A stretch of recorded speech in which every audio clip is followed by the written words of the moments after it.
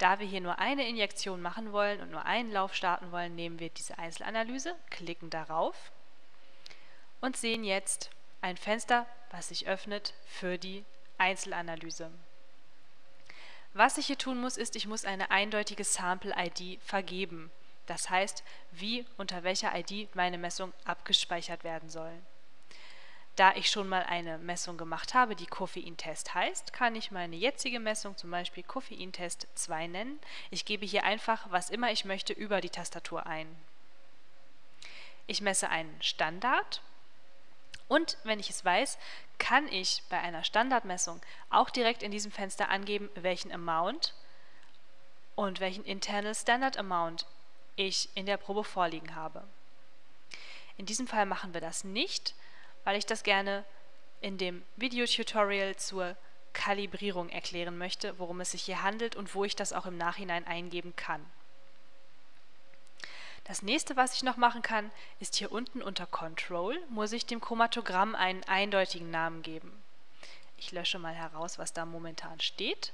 Und am einfachsten gehe ich hier rechts über diesen Button und wähle erneut Sample ID aus. Wenn ich das mache, wird die Sample-ID, die ich hier oben vergeben habe, erneut hier unten vergeben. Man kann natürlich das nennen, wie man möchte, aber zur Eindeutigkeit ist das sicherlich eine gute Möglichkeit.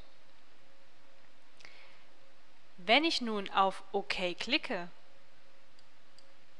wird diese Information erneut an das System gesendet und nun kann ich wirklich meine Messung starten. Das heißt, ich nehme meinen Standard, injiziere ihn in das System und schalte nun das Injektionsventil herunter und sehe auch direkt im Data Acquisition Fenster tut sich etwas, die Messung wird gestartet. Nun können wir uns dieses Data Acquisition Fenster noch einmal genauer angucken. Dazu vergrößere ich das mal ein bisschen.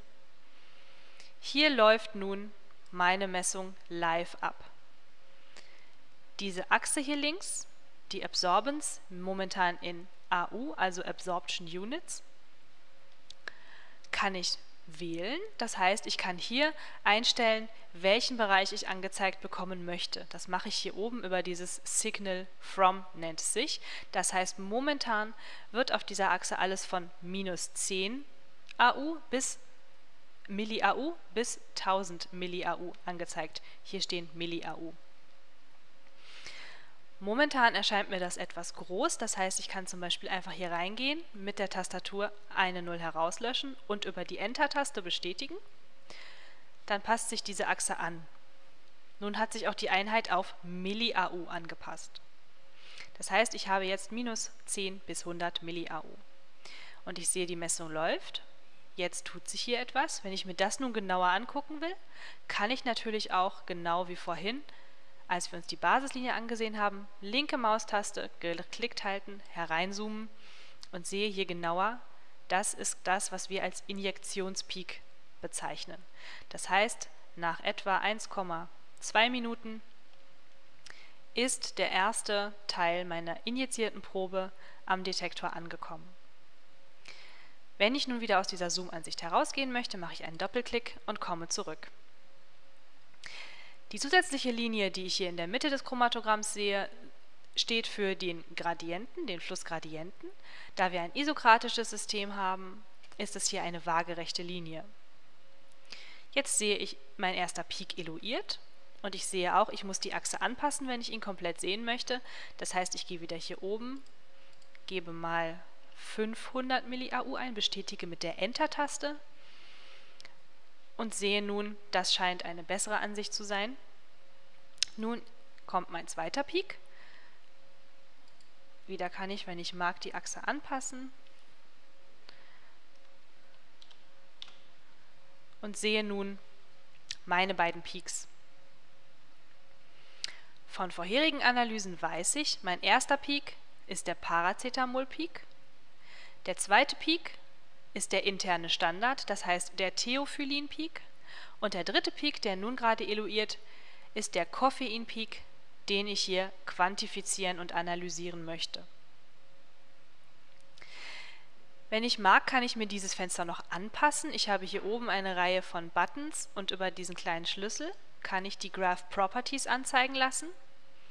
In diesem Fenster könnte ich zum Beispiel die Linie stärker machen. Ich kann eine Farbe für mein Chromatogramm auswählen und kann auch die Achsenbeschriftungen anpassen. Das kann interessant sein, wenn man das Chromatogramm am Ende exportieren möchte und eben ein dickeres, eine dickere Linie fürs Signal haben möchte. Mit OK kann man hier bestätigen und es würde sich automatisch anpassen. Jetzt weiß ich, ich habe meine drei Peaks, die sind durchgelaufen. In meiner Methode hatte ich ja gesagt, bis fünf Minuten soll diese Messung gehen. Da ich jetzt aber schon sehe, die Messung ist fertig, kann ich auch, wenn ich möchte, über diesen kleinen Stopp-Button hier oben gehen. Wenn ich den klicke, stoppt die Messung und das soeben gemessene Chromatogramm öffnet sich noch einmal, allerdings nun in einem anderen Fenster, und zwar in dem Chromatogramm-Fenster. Das gerade war das Data Acquisition Fenster, wo ich live die Messung sehe. In diesem Fenster wiederum kann ich mir Chromatogramme, die fertig gemessen sind, anschauen. Das heißt, ich kann alle Chromatogramme hier erneut öffnen. Das Wichtige ist nun, ich sehe oben das Chromatogrammfenster und hier unten sehe ich meinen Result Table. Und hier noch eine Information für die Kalibrierung etc.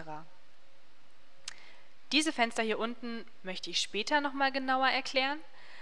Was allerdings wichtig ist, er hat bereits die Peaks erkannt. Das heißt, ich habe in meiner Methode hinterlegt, welcher Peak wann eluiert und das kann ich genau hier sehen. Das heißt, ich weiß genau bereits jetzt, welcher Peak welcher ist und hier oben wird es auch angezeigt. Wenn ich nun mehrere Messungen vergleichen möchte, kann ich das auch über dieses Fenster tun. Ich kann auch hier die Größen anpassen, indem ich hier einfach klicke und es mal herunterziehe, wenn mir momentan das Chromatogramm am wichtigsten ist. Ich kann entweder unterschiedliche Chromatogramme nacheinander öffnen, ich habe aber auch mit diesem Symbol hier, Overlay nennt sich das, wenn ich das aktiviere, heißt das, ich kann mehrere Chromatogramme gleichzeitig öffnen. Das heißt, wenn ich jetzt über Open Data gehe und mal noch ein Chromatogramm öffne, dieses zum Beispiel, no, wird mir das geöffnet und als Overlay, das heißt als Überlagerung mit dem soeben gemessenen Chromatogramm angezeigt. Das heißt, ich kann hier einige Chromatogramme übereinander lagern, die Peakflächen hier vergleichen und mir so Kalibrierungen, Chromatogramme anschauen. Wie ich nun die Auswertung dieser Chromatogramme vornehme, das möchte ich in einem anderen nächsten Video zeigen.